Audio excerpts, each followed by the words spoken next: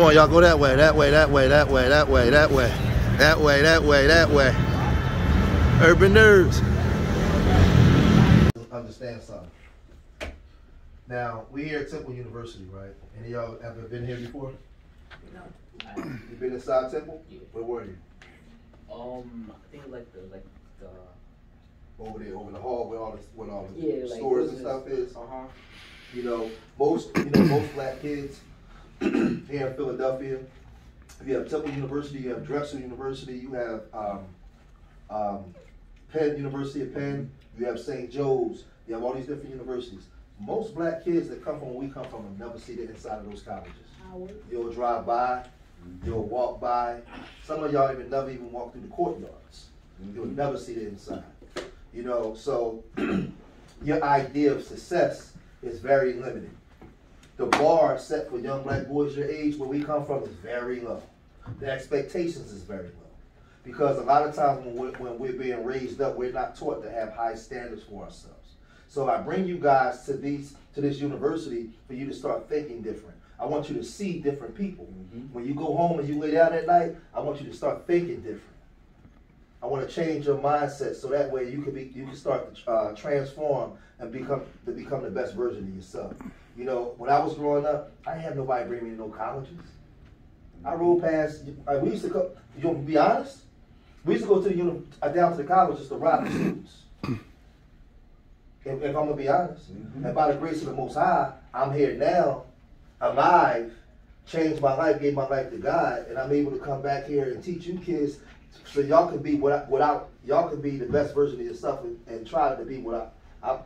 It took me a long time to figure it out. Mm-hmm. I had to go through a lot of heartache and pain, and when he was born, I knew I had to really change my life. Mm-hmm. And now I want to pour it back into you guys and give you guys um, all the advantages that you can get that I, that I, that people gave probably gave me the advantage, Billy, but I wasn't listening Oh, absolutely.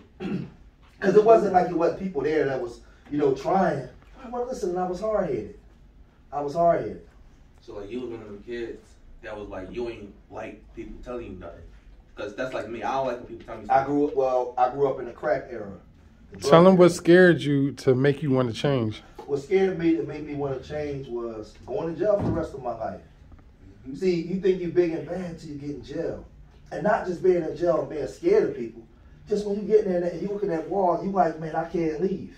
Mm-hmm. There's no key to like you can't just get up. Hey, 7:30 is the game. No, you want a phone call. You gotta hope that your girl answer the phone, but she don't answer the phone. And like you know, if your mama died while you were in jail, nobody cares. Imagine you, just had to sit in there for the rest of your life on a on a little mattress in a steel like a steel bed with a mattress about an inch thick. You had to lay on something like that for the rest of your life. A room about the third of this side, you sharing it with somebody else. When you go to the bathroom, if you gotta take a, a poop, your celly is in there, right there, and there with you. There's nowhere to go. The room is like the half of this table, mm-hmm. and you stuck in there, and you in that something like that for the rest of your life. I said, no, th- this ain't the way. But when I got to prison, there was a man named Zachary Ricketts from the Nation of Islam that was there, and he talked to me, and he told me that I wasn't a nigga, and I didn't know what he was talking about. Like, what do you mean? And he started to explain to me uh, the traps that we was caught up in and start uh he what, what he did was he started to make me see myself and see the shame in what I was doing. And I knew that I had to and I didn't change right away. But what you, you can't unlearn what you learn. Once he deposited some stuff into me, I took it out to the street with me. And over time I began to change. When I see you guys, you guys are not coming up the way that I came up, Billy came up. Um, it's a little different. By the time I was your age, I had already had a Volvo, my own house, uh, you know, all kinds of girls and cars and money. I was already fully indoctrinated into that street life. And it was hard. We we're urban nerds, we're in the prevention business. We wanna I wanna grab you guys before the streets get you, before you get that street indoctrination. Because once you get that, some of those kids, some of them kids gotta die. They gotta go to prison for long sentences. And those that really got ear to hear to listen, I, I can get them. I want to get get get to you guys before it get that far. Mm-hmm. Before it get that far. And, and, and, and take you to different places. You know, urban nerds, we want to go to Africa. We want to go to London. We want to go to France. There's a big world out here outside of Philadelphia in the block. I mean, a big world. Mm-hmm. And guess what? There's a big world right here in Philadelphia that you guys, that you guys, most a lot of you kids would never be exposed to. Mm-hmm. I mean, it's right there in front of you. But I, I, I didn't see the big world until I, until I, until my eyes was changed, my vision was changed to something different. And when I stepped out, Billy, I said, "Oh, I didn't mm-hmm. know this was out here." Even though we was going and robbing students and doing all kinds of stuff, and I was selling all kinds of drugs, making money. It wasn't until I got away from that and went into and I looked around and I said, man, I didn't know all this kind of stuff was this. And I didn't know that this stuff was for me because I ended with this. In our communities, a lot of us have low self-esteem as black boys. We're raised in the communities that we come from and we don't think that we're worthy of being, being going to different places and being at these places where these other people are. We don't think that there. And I'm glad. Can I ask like a real person? You don't got to answer if you want to, but like a real personal Mhm. question. Mhm. How many people you had to lose to like realize I gotta really change my life? Oh man, um, I think when you losing people when you're young, at that time you, you don't you don't you become numb. You don't understand it, or you lose people, and then you think you got to go back and get those people. Like, can I ask something like me? I lost, you know, I lost my best friend, Mm-hmm. and me, I was never really into it like that. But Mhm. I was sad, yes, but I just want to answer that question. Well, yeah. Well, see, I tried my best to raise you separate from the life I lived and your brother lived. Separate. Like you never seen a dead body in the street. You never seen a shootout. You know, and people when we come from, they hear that say, "Oh my God, oh man, you a swear." Good. Mm-hmm. Great, great. I want to save you from from the PTSD and the trauma. I want you to be a normal, goofy, fifteen year old kid like like like every like everybody else kids should be. Remember, y'all listen to that music. A lot of the, a lot of the, I don't say their name, but a lot of certain groups they invite those rappers out to their their parties, their bar mitzvahs, and they come out and they rap all gang gang kill right in front of them. But you know what? You know what their kids are doing? They're becoming the producers Mm-hmm. the A&Rs, the engineers, the CEOs, while you're rapping the music that's actually, you're getting death from it. You're dying, going to prison. They're the bankers. They're everything. So they're actually controlling, and part, and because of that, there's a low self-esteem. We don't think that we're capable of doing these things. So urban nerds, we're here to change all that. All that. You're capable of being a banker. You're capable of being an A&R. You're capable of being an engineer. You know, you're capable of owning a building that people are going to operate in. Yes, you can do it. You're capable of doing all those things. You're greater than what they said that, than what they said that you were. And we gotta get. We have to teach our boys because to be a drug dealer to kill your own people, and to ru- run around as a real nigga is really low self-esteem. Menace. You know, it teaches it's a menace and it's low self-esteem Mm-hmm. because you look at the other groups that's not doing it and you, you you don't think that you're capable of doing it. And I'm here to tell you that you guys are more than capable. So you'd be surprised at the things you can do when you're exposed to different things. All right, we did. You want to say something? Nah. Just find the greatness in you guys. You kings. You just gotta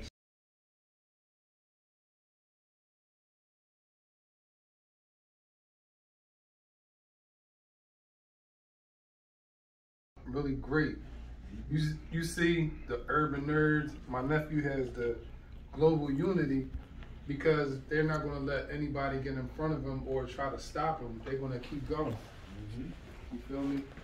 Me and him, me and your dad. Oh, man. we've been through a lot of like we've seen a lot of things in life that'll make you like Make you want it'll, it'll, it'll, it'll eat at you while you're sleeping. You know what I'm saying? So it was a certain situation that we was together and seeing something that it really changed my life. Like seeing somebody laying there lifeless. Mm-hmm. You know? And that like really changed me from being out here in the streets, going in bars and stuff. And I really don't I really didn't drink because I had to break the chain because my dad, my uncles used to be alcoholics. So I stopped that. I had to break the chain because if you don't break the chain, it's going to keep continuing on and on. and all it's going to do is just go down the family line unless you stop it. Generational curse. Exactly. So, you know, just go. I got a question. Um, how do you how do you break a kid away from all that if they've already if they already seen it? They've seen people die, get robbed, shootouts. What do you do when those kids have already seen that and you're trying to bring them away from that? Well, Do what George is doing. Keep them close. Show them love. There's another side. There's two. There's two sides to the coin. Two worlds. There's another world. Expose you to another world. You asked an interesting question. You got me thinking. You asked your dad, what was it that changed him? And I had to ask myself that same question. What was it that changed me? And I gotta say, and it's close to home. It was the disappointment and the hurt that I brought to my mom. Oh man. To and, my mom. And that was to my dad. When the feds came to get me, they came to get me at my mom's house. And they pulled a gun out on my mom's and told her to shut up and sit down in her house. I brought that drama to my mom's. And that was at that point, it saved me up and sobered me up because she didn't deserve that. And I had no right to bring that into her world because she's giving me, like, no different than all your moms. Ain't showing y'all nothing but love and major sacrifices. Yep. That's what I need to turn me around. It took a while. I ended up going to federal penitentiary. I wouldn't let her come see me. No, moms, you can't come up here and see me. I put myself in this place. I will get myself out. I'll call you the last Sunday of every month. And the money that I have from the street, the hustling money, that's your money. Do what you need to do with it. It was the drama that I brought to my mom in her house that she had I had no right to do. That's what saned me up and sobered me up. It's been 30, shucks, 37 years since I walked out of federal detention and have not looked back. I've been blessed to be able to do a whole bunch of things. I ain't waiting for nothing. I got money to do whatever I want to do. You know, I live in this old boule house with, with a big old backyard and pool table and all the other stuff. I've been fortunate and blessed because I focused. I stayed focused. I'm gonna leave you with this. I want you guys to think. Just take a second. Just take one second before you make any decision, and think about the decision that you make.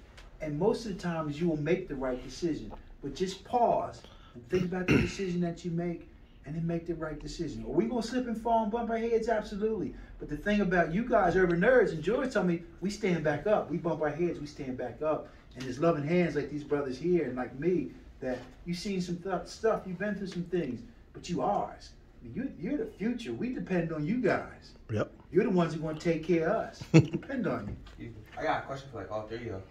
So, or how I'm gonna put this. Uh, all right, so say so let's say if a kid like his age Mm-hmm. live with his mom and just his mom and Mhm. his mom can't pay the bills, they can't do nothing. How do you stop that kid from like turning to the streets? How do you how do you really stop that kid from like turning to start scamming? What we doing now? Killing. You know what I mean? What you, what's happening right now? What we doing right now? Snatch him up. Come on, we're gonna snatch you up. I'm coming to get you. I'm gonna show you some different things. Hey, here's my phone number. If you stressed out, you're going through something, call me.